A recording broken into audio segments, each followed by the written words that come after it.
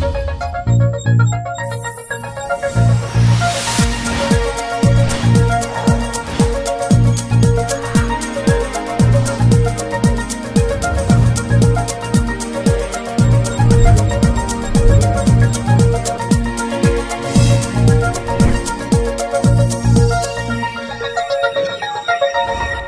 Saludos, bienvenidos un día más a Noticias Canal Sierra de Cádiz. Hacemos un repaso de los titulares de esta jornada. Arcos acogerá este próximo sábado la gala anual de la Federación Andaluza de Piragüismo. Este acto es el primero que se realiza a nivel andaluz.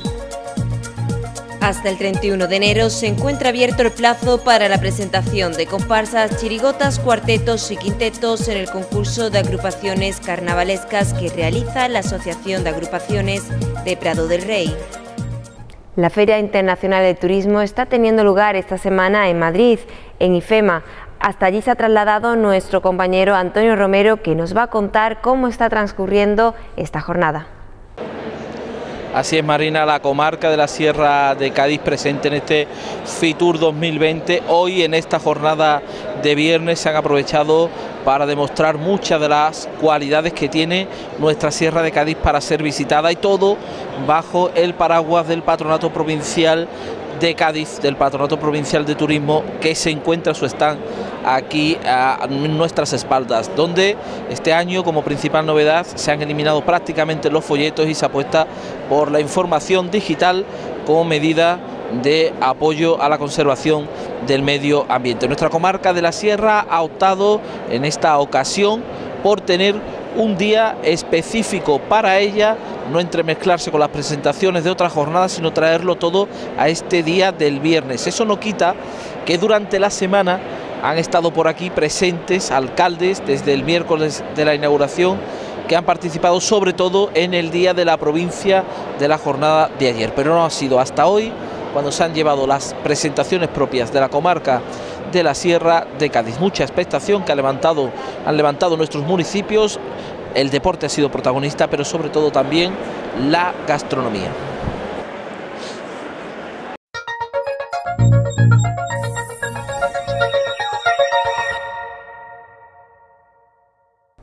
La primera teniente alcalde del Ayuntamiento de Prado de Rey ha comentado que el actual equipo de gobierno está sacando adelante la rendición de cuentas de los años 2016, 2017 y 2018.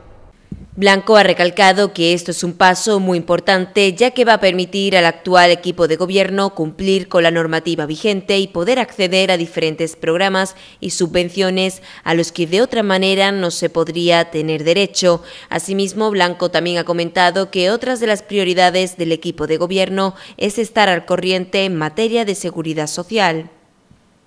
Por fin se va a poder pagar el inaplazable y, vamos a poder concertar un acuerdo eh, económico para el fraccionamiento del pago. Por otro lado, la primera teniente alcalde ha comentado que están al corriente con la Hacienda estatal y con la Hacienda andaluza. Esto nos permite eh, poder dar a, a, nuestros vecinos el mayor de los servicios con la garantía de que otras administraciones nos van a respaldar. Así, muchas subvenciones a las que en las que nos exigían estar al corriente de la seguridad social y Hacienda y a las que no hemos podido acceder durante todos estos años, pues por fin y vamos a poder hacerlo, llevarlo a cabo. Blanco ha reconocido que todas estas acciones han sido posibles gracias a la labor de la alcaldesa, que es la encargada de llevar el área económica, y por otra parte también gracias a la labor de los trabajadores municipales. El Ayuntamiento de Prado de Rey ha recordado cómo deben hacerse las inscripciones para participar en el concurso de agrupaciones carnavaleras.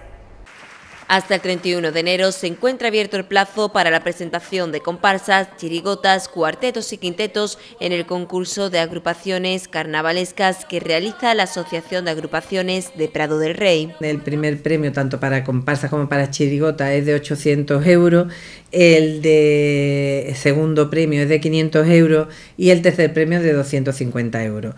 Para cuarteto y quinteto el primer premio es de 300 y el segundo premio de 200 euros. El concurso se llevará a cabo en los días 14, 15 y 16 de febrero en el Teatro Maestro José Toro Doblas. Hasta el 31 de, el 31 de enero pues estará abierto el plazo, lo pueden presentar todas las agrupaciones interesadas o bien a través de la página web del ayuntamiento o bien a la oficina de turismo o por correo ordinario. La inscripción mm, cuesta 100 eh, euros. La primera teniente alcalde ha recalcado que es importante dar difusión de este concurso que tantos años lleva realizándose en la localidad. Es importante que, bueno, dar a conocer este concurso porque eh, sabemos de la gran afición que hay en todas las sierras por el carnaval y, bueno, y Prado del Rey quiere sumarse a, esos concursos que hay mm, durante todo el, eh, este año en, en la provincia de Cádiz.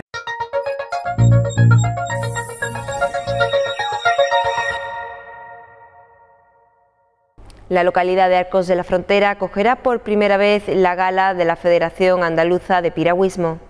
La gala tendrá lugar en el Teatro Olivares Beas a las cinco y media de la tarde. Este acto es el primero que se realiza a nivel andaluz.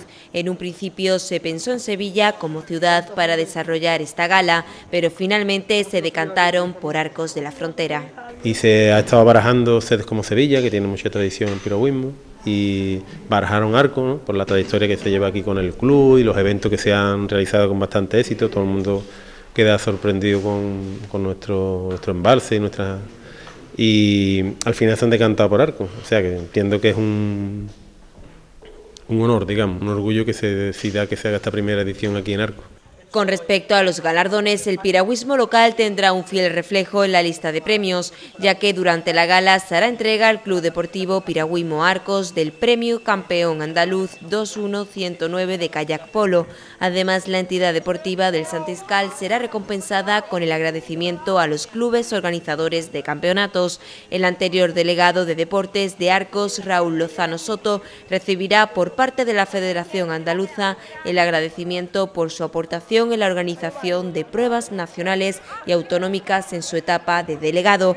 Además, el Ayuntamiento de Arcos de la Frontera recibirá de la Federación Andaluza de Piragüismo el agradecimiento por su aportación al piragüismo, así como al actual delegado de Deportes, presidente del Club de Piragüismo Arcos y ex vicepresidente de la Federación Andaluza, Diego Zambrano, que será reconocido con el agradecimiento por su labor en la promoción del kayak polo en Andalucía. El delegado de Deportes ha comentado que para los deportistas asistentes hay organizadas una serie de actividades. Con posterioridad se dará un vino, se les dará a conocer nuestro Palacio del Mayorazgo también. Se ha pensado en aquella ubicación para que todos los visitantes se tomen un vino, como digo, porque de lo que se trata también que todos los asistentes eh, visiten los comercios locales y, visiten el casco antiguo y disfruten de una tarde en, en Arco.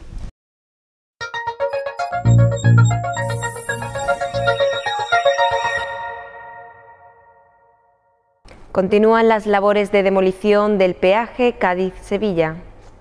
Ya han comenzado las obras de demolición para el último peaje de la autopista AP4 entre Sevilla y Cádiz. Las grúas comenzaron a demoler las cabinas que durante 48 años han permanecido en el término sevillano de las cabezas para el control de pago.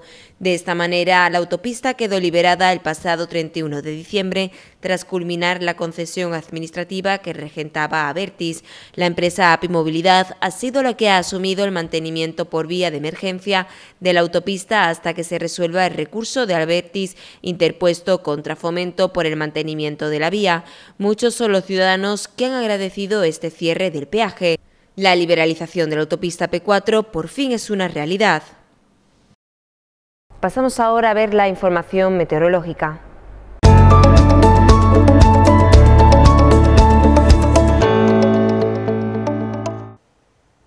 Hola, ¿qué tal? Este viernes los restos de la borrasca Gloria dejarán precipitaciones en el suroeste peninsular que ya de cara a la tarde irán avanzando hacia el centro de la península. Lo vemos en el mapa de probabilidad de precipitación para este viernes, vemos cómo se concentrarán sobre todo en el suroeste de la península y serán especialmente persistentes en la parte más occidental de Andalucía. En la provincia de Huelva, también en Sevilla, en el litoral de Cádiz, en el estrecho y en el litoral de Málaga se podrán recoger al menos 20 litros por metro cuadrado en una hora.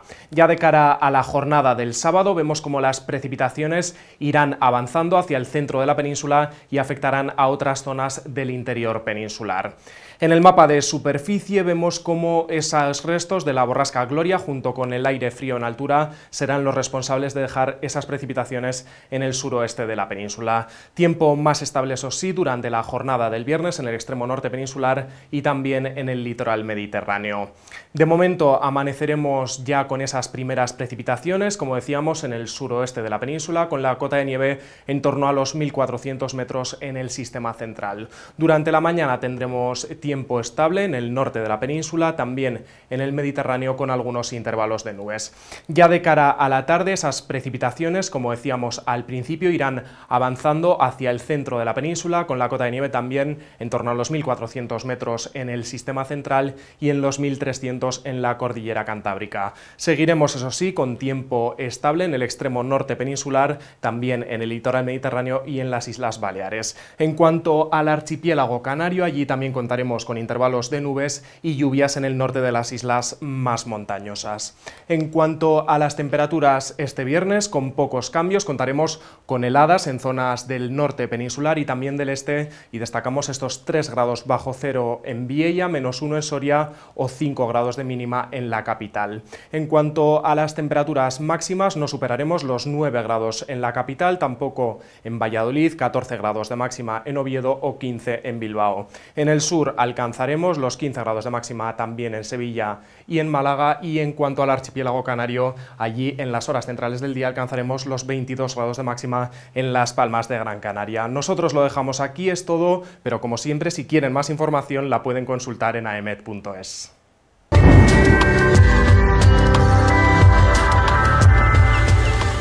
Hacemos ahora un repaso de los titulares más importantes de esta jornada. Arcos acogerá este próximo sábado la gala anual de la Federación Andaluza de Piragüismo. Este acto es el primero que se realiza a nivel andaluz. Hasta el 31 de enero se encuentra abierto el plazo para la presentación de comparsas, chirigotas, cuartetos y quintetos en el concurso de agrupaciones carnavalescas que realiza la Asociación de Agrupaciones de Prado del Rey. Esto ha sido todo por hoy. Muchas gracias por acompañarnos un día más. Que pasen muy buena noche.